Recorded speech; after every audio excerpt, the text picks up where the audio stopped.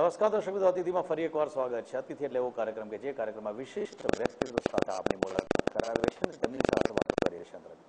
આજે આપણી સાથે અતિથિમાં એક એવા અ, મહાનુભાવો એવા અતિથિ વિશેષ તરીકે હાજર છે સીધો પરિચય આપી દો આપને स्वामी स्वरूपानंद जी सरस्वती जी महाराज शंकराचार्य जी स्वामी जी आपका स्वागत है कार्यक्रम में अ, सबसे पहले तो मैं पूछना चाहूंगा कि समय समय के हिसाब से धर्म की व्याख्या लोग अलग अलग अपने परिभाषा से करते हैं। क्या कहना चाहेंगे इन लोगों के लिए? धर्म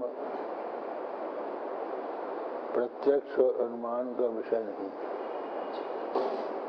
धर्म का ज्ञान शास्त्र से होता है और शास्त्र ही बतलाता है कि क्या करना चाहिए और क्या नहीं करना चाहिए तो जिसको शास्त्र कहता है कि ये करना चाहिए, वह धर्म होता है। और जिसके बारे में मना करता है, वो होता है अधर्म। तो धर्म और अधर्म का ज्ञान न आँख से होता, न कान से होता, न नाक से होता, न और किसी उपाय से होता। उसके लिए केवल शास्त्र ही आधार है। जैसे रूप के संबंध में एकमात्र नेत्र प्रमाण है और शब्द के संबंध में श्रोत कान प्रमाण है। इसी प्रकार धर्म के संबंध में शास्त्र ही प्रमाण है। इसलिए मनमाना कोई व्यक्ति धर्म की व्याख्या नहीं कर सकता। उसको शास्त्र के अनुसार ही बोलना पड़ेगा। स्वामी जी सनातन धर्म की बात करें तो सनातन धर्म का पूरे विश्व में उसका प्रचार हो, उसके लिए आप हर दम प्रयास करते रहते लेकिन कहीं लगता है कि सनातन धर्म को जिस तरह से हमें पूरे विश्व में प्रस्थापित करना है कहाँ कहाँ कमियाँ आपको नज़र आती है कि ये कार्य जो करना है, क्या उसी तरह से, जिस तरह से चल रहा है, या इसमें और भी कोई विशेष प्रयास की ज़रूरत है आपको? इसमें प्रयास की आवश्यकता है। धर्म का वास्तविक स्वरूप क्या है? ये जनता तक पहुंचाना आवश्यक है।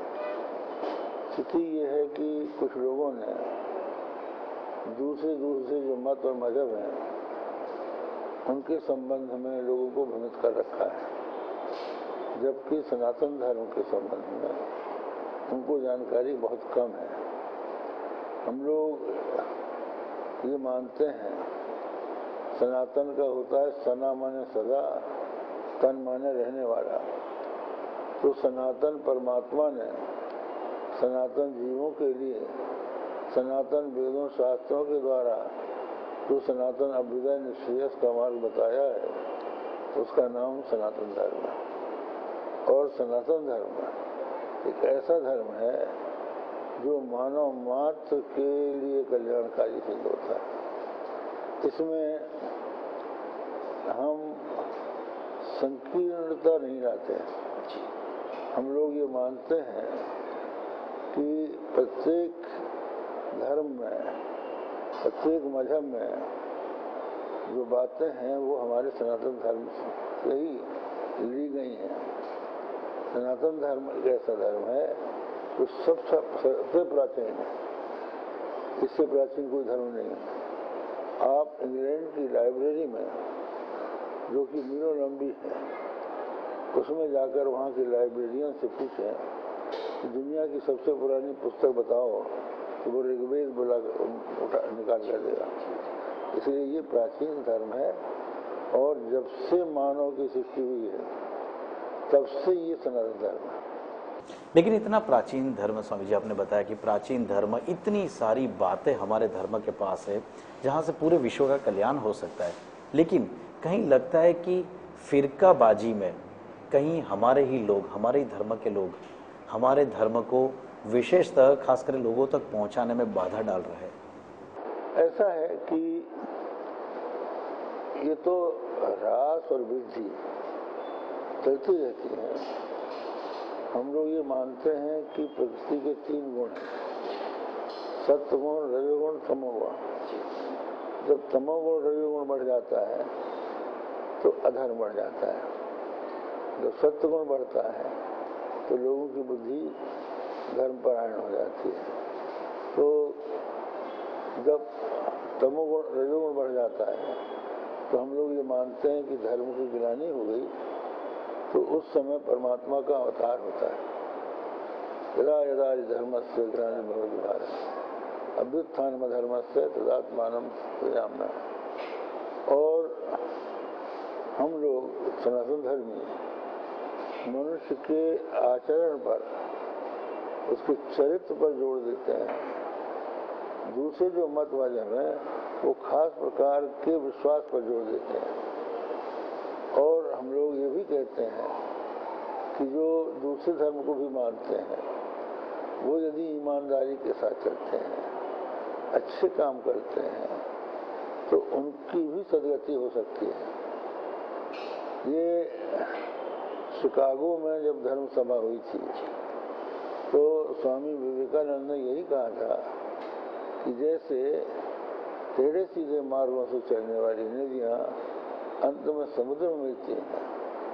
उसी तरह से भिन्न भिन्न मतों के अनुसार चलने वाले भी अंत में एक ही परमात्मा के पास पहुँचेंगे।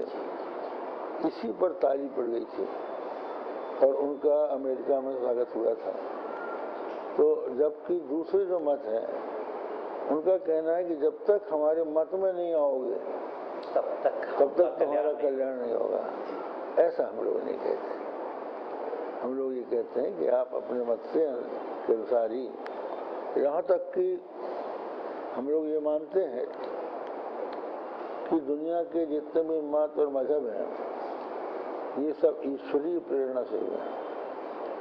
हर देश में कोई ना कोई महापुरुष, चाहे वो ईश्वर के दूत में हो, चाहे ईश्वर के पुत्र के रूप में हो, चाहे संदेश वाहक के रूप में हो, कोई आया है।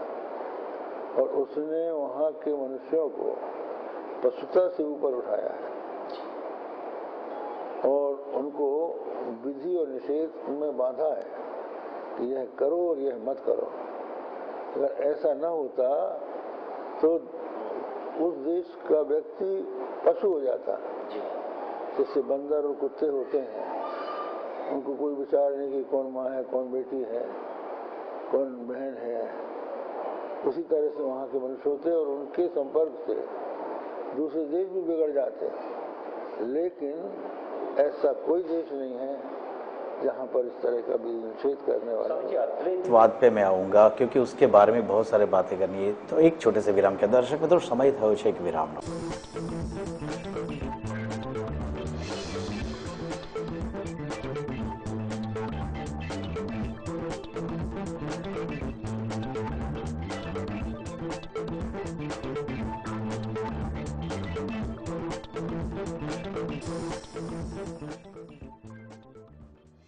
विरामत फरी एक बार स्वागत है आपनों कार्यक्रम अतिथि माँ। स्वामी जी ब्रेक से पहले हमने बात किया कि अद्वैतवाद के लिए भी बहुत सारा चर्चा होती है। आ, इसी देश एक ही देश एक ही देश में भिन्न भिन्न विचारधारा को मानने वाले लोग। जहाँ बात आती है आपने बताया कि सब धर्म सब गुण आके सब इकट्ठे होते एक ही जगह पर। चाहे उसे भगवान के नाम से बुला दो चाहे अल्लाह के नाम से बुला एक सुपर पावर के पास ही आके अटक कर अद्वैतवाद के बारे में थोड़ी बातचीत बताइए। अद्वैत सिद्धांत में ये माना जाता है सर्वम खल विदम ब्रह्म, देह नानास्त किंचन, सारा ये संसार जो कुछ हमको दिखलाई पड़ रहा है, ये ब्रह्म है, यहाँ पर भेद नाम की कोई वस्तु नहीं। है ब्रह्म का लक्षण है, सत्यम ज्ञानम अनंतम ब्रह्म। जो सत्य है ज्ञान स्वरूप है और अनंत है तो किसी भी वस्तु का तीन प्रकार से अंत होता है। देश से अंत होता है, काल से अंत होता है और वस्तु से होता है। तो जैसे हम आज यहाँ अहमदाबाद में बैठे हैं। अहमदाबाद से हम आगे बढ़ जाएँ तो जहाँ से इसकी कारपोरेशन की सीमा समाप्त होगी अहमदाबाद का अंत हो जाएगा। लेकिन ब्रह्म ऐसा कोई देश नहीं है जहाँ ब्रह्म ना हो। इसलिए देश से उसका अंत नहीं और काल से अंत नहीं हो सकता क्योंकि कोई जो पैदा होने वाली चीज़ है वो पैदा होने के बड़े नहीं थी। और जब वो मर जाएगा तो मर जाने के बाद वो नहीं रहेगा। लेकिन परमात्मा ऐसा कोई काल नहीं है, जबकि परमात्मा नहीं था और ऐसा कोई काल नहीं आएगा, जबकि परमात्मा नहीं रहेगा। इसी प्रकार वस्तुतः अंत होता है। एक वस्तु एक रूप में है, दूसरे रूप में नहीं है। लेकिन हम लोग ये मानते हैं कि सदघन चिदघन आनंद घन सब में है और उससे भिन्न कुछ भी नहीं इसी का नाम अद्वैतवाद है। स्वामी जी थोड़ी थोड़ी पुरानी बातें याद करें। आज़ादी के वक्त भी आपने बहुत ही पार्टिसिपेंट किया था फुल इन्वॉल्वमेंट था आपका। आज़ाद हुआ तब बहुत ही आशाएँ थी हिंदुस्तान के लोगों को। आपने भी उस वक्त आपका इन्वॉल्वमेंट था, आज़ादी की जो मूवमेंट थी उसमें आपने भी अपने एक जो जागरूक नागरिक की तरफ़ से आपने भी जिन लोगों को जो जो आदेश देने थे, आपने भी दिए थे। आज़ाद भारत से पहले वाला भारत और आज़ाद हिंदुस्तान, जो परिकल्पनाएँ की गई थी और आज की वास्तविकता। कैसे देखते आप उसको? बहुत अंतर है। पहले हम लोग हम लोग ये देखते थे कि राजनीति में जो व्यक्ति जाता था, वो बलिदान की भावना से जाता था। हमारे भारत में संयुक्त परिवार की प्रथा है। तो एक परिवार में अनेकों भाई होते थे और उनका परिवार सम्मिलित रहता था। तो जिस व्यक्ति जो व्यक्ति राजनीति में जाता था परिवार के लोग कहते थे कि तुम निश्चित रूप से देश की सेवा करो हम तुम्हारे परिवार का भरण पोषण करेंगे। खुशी खुशी सामने से करेंगे। वो जेल में जाते थे। पाँच पाँच सात सात वर्ष जेल की जेल की अवधि में रहते थे तो उनकी स्त्री को, उनके बच्चों को परिवार के लोग पालते थे और आज जब कोई व्यक्ति राजनीति में आता है तो वो रातों रात करोड़पति बनने के लिए आता है। उसके मन में अब वो बात नहीं रही कि हम देश की सेवा करें। ऐसे भी लोग हैं जो कि सेवा करने की भावना से कार्य करते हुए ज़्यादातर ज़्यादातर ये सब हो गए हैं। तो ये उसको कलुषित कर रहे हैं। स्वामी जी यहाँ रोकना चाहूँगा। एक समय था मैंने पीछे पिछले इससे इससे पहले भी एपिसोड में आप जैसे जो भी विशेष व्यक्तित्व आए थे उनसे पूछा था कि कहीं ऐसा था कि पहले धर्मदंड राजाओं के सर पे रहता था कहीं डर रहता था धर्मदंड का। धर्मगुरुओं का एक प्रभाव था। कहीं आपको लगता है कि धर्म गुरुओं को आज की तारीख में आज के पॉलिटिशियंस आज के राजकारणी कहीं अपने फ़ायदे के लिए इस्तेमाल करते हैं? ऐसा है कि जो धर्मगुरु हैं उनका कोई इस्तेमाल नहीं कर सकता। अगर जब तक वो ना चाहे। नहीं वो चाहे वो ऐसा चाहेंगे ही क्यों? जी। कि उनका इस्तेमाल हो। वो तो ये चाहेंगे कि देश का कल्याण जनता का भला हो। और उसके लिए यदि कोई उपयुक्त व्यक्ति उनसे परामर्श माँगता है तो वो उसका परामर्श देते हैं। और जहाँ तक उपयोगिता की बात है, हम लोग ये बात मानते हैं कि धर्म हमारे पालन करने की वस्तु है। ये अपनी सत्ता की प्राप्ति के लिए, सीढ़ी के लिए नहीं है। आप अपने जीवन को बनाइए। और एक बात अभी चर्चा चली थी। थोड़े दिन पहले चैनल में ही कोई बात आई थी। राजनीति और धर्म को अलग अलग रहना चाहिए कि एक रहना चाहिए।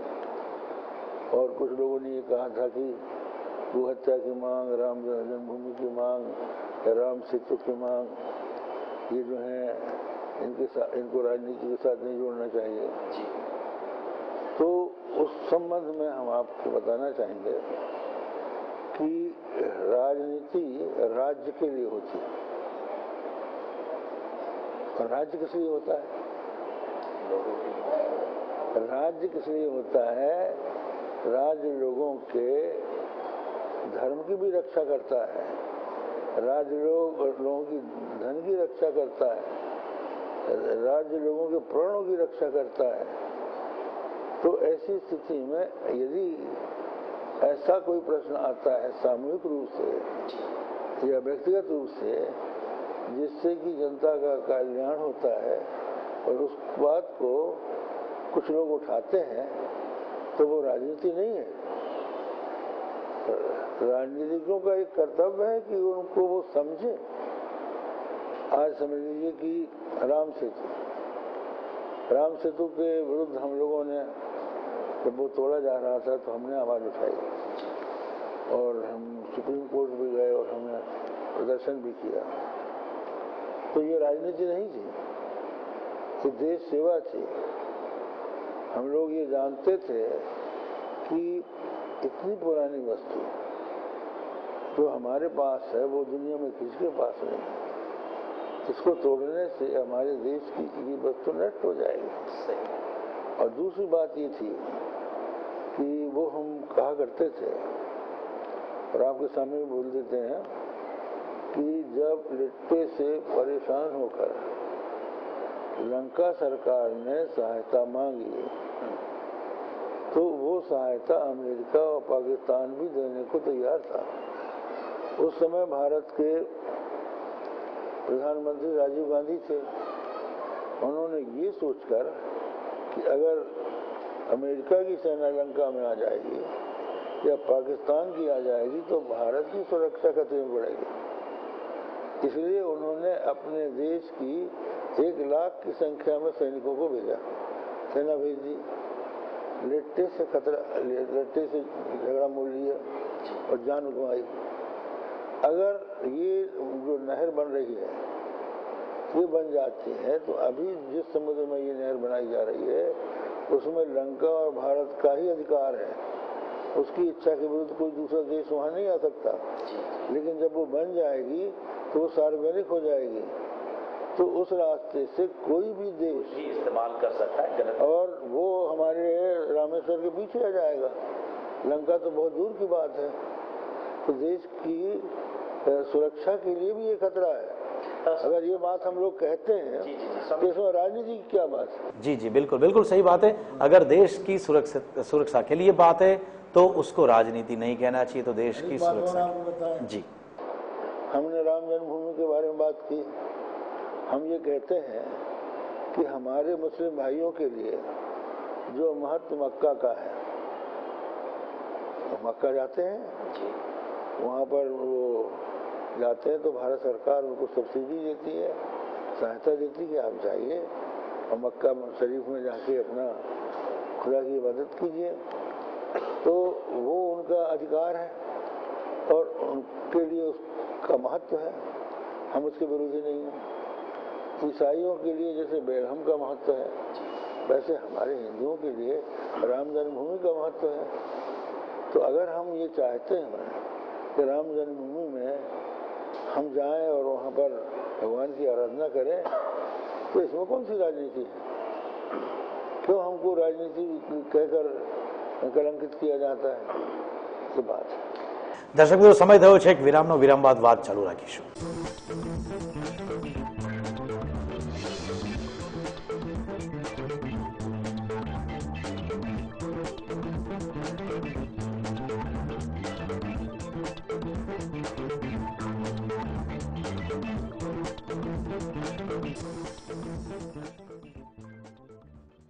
વિરામ બાદ ફરી એકવાર સ્વાગત છે આપનું કાર્યક્રમ અતિથિમાં અ, સ્વામીજી आपने बताया कि राजनेता राजनीति और धर्मगुरु के मुंह से राज्य राज्य के लिए जो किया जाता है वो राजनीति है स्वामी जी राजेंद्र प्रसाद जी डॉक्टर राजेंद्र प्रसाद जी के बारे में मुझे बात मुझे मालूम है कि बहुत करीब रहे थे आपसे आपके आशीर्वाद भी उन्होंने प्राप्त किए थे आपके गुरु जी के आशीर्वाद भी प्राप्त किए थे जहां तक बात होती है डॉक्टर राजेंद्र प्रसाद जी जैसे एक राजनेता की। शायद उनको राजनेता से अच्छा तो मैं कहूँगा कि समाज सुधारक और राष्ट्र के प्रति चिंतित कोई व्यक्ति अगर उनको ऐसा, अगर नाम दिया जाए तो बहुत बेहतर रहेगा।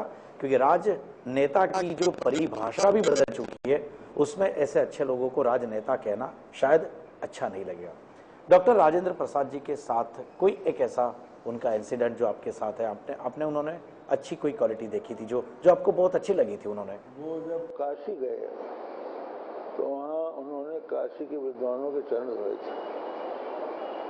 तो इस पर उस समय के प्रधानमंत्री ने आपत्ति उठाई थी कि इस राष्ट्रपति को ऐसा नहीं करना चाहिए। तो उन्होंने कहा था कि नहीं भारत का जो सर्वोच्च पद है वो भी विद्वानों के सामने नतमस्तक होना चाहिए। तो वो उन्होंने किया था। और इसी तरह से जब हिंदू कोड बिल पास किया जा रहा था तो राजेंद्र प्रसाद जी ने कह दिया था कि मैं उसमें हस्ताक्षर नहीं करूँगा। स्वामी जी एक, एक, एक, एक थोड़ा मेरा ट्विस्टी सवाल है। उस लेवल के राजनेताओं में या तो ऐसा आज को आप में कौन सा ऐसा नेता दिख रहा है जो भारत देश को आगे ले जा सके? इस धरोहर को संभाल सके। तो इस संबंध में तो हम कुछ कहने में असमर्थ हैं क्योंकि तो हम अब राजनीति में है नहीं और इस पद हैं पर हैं सब लोग हमारे पास आते हैं। और इस समय कोई भी बात कहना एक पक्षी हो जाता है। ठीक है। स्वामी जी गंगा गंगा मैया के लिए गंगा नदी के लिए आपने एक अपने विचार एक अलग बनाए हैं, अपने मूवमेंट भी एक शुरू की है उसके बारे में थोड़ा बताइए। ये हमारा कहना है कि हम प्रधानमंत्री के पास गए थे। कुछ इंजीनियरों को लेकर कुछ राजनेताओं को लेकर और कुछ महात्माओं को लेकर हमने उनको बताया था कि मनुष्य को तीन चीज़ों की ज़रूरत पड़ती है, मुख्य रूप से। एक तो उसको जीवित रहने के लिए अनाज चाहिए, अन्न चाहिए। दूसरे, अनाज को पकाने के लिए ईंधन चाहिए। और तीसरे, पकाने के लिए पानी चाहिए और पचाने के लिए भी चाहिए। तो जिस गंगा के संबंध में हम बात कर रहे थे, वो ये था कि करीब 25 करोड़ 35 करोड़ व्यक्ति गंगा के पानी पर आधारित है। पैंतीस करोड़। पाँच प्रदेशों को स्पर्श करती गंगा जाती है। उत्तराखंड, उत्तर प्रदेश, बिहार, झारखंड और पश्चिम बंगाल। तो उस गंगा को गंगोत्री से ही प्रदूषित किया जा रहा है। उसमें बाँध बांधे जा रहे हैं। तो होता यह है कि जब पहाड़ में नदी में बाँध बाँध दिया जाता है और उसको बैराज में डाला जाता है तो पानी का धरती के साथ संबंध रहना पानी की शुद्धि के लिए आवश्यक होता है। उदाहरण के लिए हम लोग जब कुआ बनाते हैं तालाब बनाते हैं तो कुएँ को आसपास से बांधते हैं लेकिन ज़मीन से नहीं बांधते। क्योंकि ज़मीन के साथ उसका संबंध अब उसको हमने बैराज में डाल दिया, सीमेंट में डाल दिया। तो सीमेंट में डालते ही उसकी गुणवत्ता कम हो जाती है। और जो जंतु, जल जंतु, उसके जल को सुधार शुद्ध करते रहते हैं, वो मर जाते हैं। और होता यह है कि जहाँ से बाँध बाँध कर जल हमने दूसरे बैराज में डाला, वहाँ से लेके जहाँ छोड़ते हैं, वहाँ तक की नदी सूख जाती है। और उसके गाँव, उसके किनारे के जो गाँव हैं, वो बिना पानी के मरते हैं। पशु मरते हैं, पक्षी मरते हैं।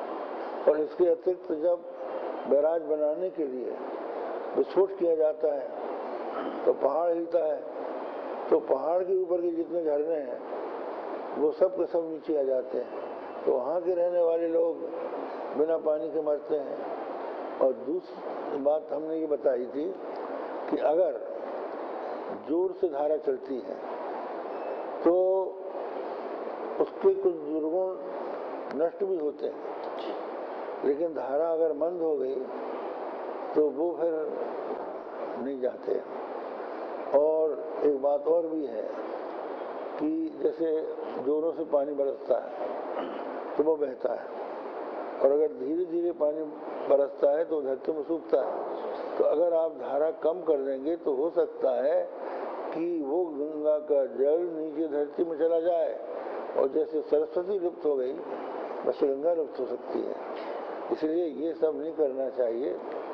आप विद्युत के लिए, अपना राजस्व बढ़ाने के लिए ये कर रहे हैं। हम विद्युत के लिए अपने जल को दूषित नहीं कर सकते।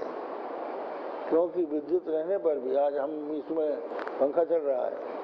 और उजीला भी हो रहा है। लेकिन अगर खाने को नहीं है पीने को नहीं है तो हम क्या करेंगे इसको सही। और जितनी जितनी आवश्यकता बढ़ाते जाओगे उतनी उतनी बढ़ती चली जाएगी। स्वामी जी घर में आज की तारीख में हर घर में जैसे आपने बताया कि संयुक्त परिवार की पहचान वाला हमारा भारत देश वक्त बहुत कम है। आपकी छोटी छोटी टिप्स हमारे बहुत लाखों व्यूअर्स को काम आएगी। संयुक्त परिवार आज की तारीख में टूट रहे हैं। क्या है? आपका मैं तो बोलूँगा कि आदेश क्या है हमारे पूरे व्यूअर को और ऐसे लोगों को? ऐसा है संयुक्त परिवार के लिए एक धार्मिक भावना चाहिए। एक दूसरे के प्रति प्यार चाहिए। आज कल ही हमने एक बात कही थी और लोगों ने उसको बहुत पसंद किया था। आज की जो स्थिति है वो ये है कि घर में जब बहू आती है तो सासू तो उठती है चार बजे और बहू रानी उठती है नौ बजे। तो उसकी नींद में खलल होता है। तो वो अपने पति से कहती है कि ये बुढ़िया आधी रात से खटखट करती है। इसको वृद्धाश्रम में भेज दो। और वो बेटा पिता से कहता है कि पिताजी, अब देखिए यहाँ से संयुक्त परिवार खत्म हो रहा है। वो पिताजी, आप चले जाइए वृद्धाश्रम में। जितने भी रुपयों की ज़रूरत होगी, हम हर महीना भेज दिया करेंगे। अब वो अपनी बूढ़ी औरत को लेके वृद्धाश्रम में जाता है। और आपके गुजरात में बहुत ज़्यादा बन रहा है वृद्धाश्रम। अब वहाँ जाके वो रहता है। तो विरक्त तो हुआ नहीं है। उसको अपने बेटों की, अपने पोतों की, अपनी बेटियों की, पोतियों की याद आती है। वो टेलीफोन करता है, चिट्ठी लिखता है कि भैया, क्या दो चार दिन के लिए आ जाऊँ? मुझे बेटों को देखना है, तुम्हारे बेटों को? नहीं, पिताजी, आपके आने की ज़रूरत नहीं है। हम छुट्टी के दिन हम खुद ही लेके आ जाएँगे। और जब छुट्टी के दिन आते हैं तो वो उत्तर देता है कि आज, इस बार तो वो शिमला जा रहे हैं। वो तरस रहे हैं। इन बेटों को इन बहुओं को ये होश नहीं है कि इनकी सेवा से हमको क्या मिलने वाला है अपने बड़ों की सेवा करने से। भगवान के यहाँ ये लिखा जाएगा कि इसने अपने बूढ़े माँ बाप की सेवा की। अंतिम सवाल। अ, भगवान शंकर खुद आद्य शंकराचार्य जी को मिले थे और वो पूरा वाक्य गच्छ गच्छ। कहीं आपको लगता है कि ये भावना को धीरे धीरे धीरे धीरे सब लोगों तक ये पहुंचानी चाहिए? बहुत शॉर्ट में मुझे मालूम है कि इस दो गच्छ गच्छ, दो शब्द के ऊपर हम, आप चाहो तो आप इतने ज्ञानी है कि करीबन एक महीना पूरा हमें प्रवचन दे सकते लेकिन शॉर्ट में उसके द्वारा जो मैसेज दिया गया, उसके बारे में कुछ बताइए। वो तो ऐसा है कि हम लोग ये मानते हैं कि साक्षात शंकर ने ही शंकराचार्य के रूप में अवतार लिया था। और उन्होंने साधन पंचक का उपदेश दिया है। साधन पंचक में उन्होंने कहा है कि वेदों का अध्ययन करो और वेदोक्त कर्मों का अनुष्ठान करो और अपने कर्मों के अनुष्ठान को ही ईश्वर की आराधना करो। मन में कोई कामना मत रखो और संसार के जो सुख है उनमें दोष देखो और उसके पश्चात अपने हृदय में परमात्मा को जानने की जिज्ञासा उत्पन्न करो और उसके पश्चात परमात्मा को प्राप्त करो बहुत बहुत धन्यवाद સ્વામીજી દર્શક મિત્રો આ હતી ખાસ મુલાકાત ફરી મળીશું નેક્સ્ટ એપિસોડમાં એક નવા અતિથિ સાથે ત્યાં સુધી રજા આપશો નમસ્કાર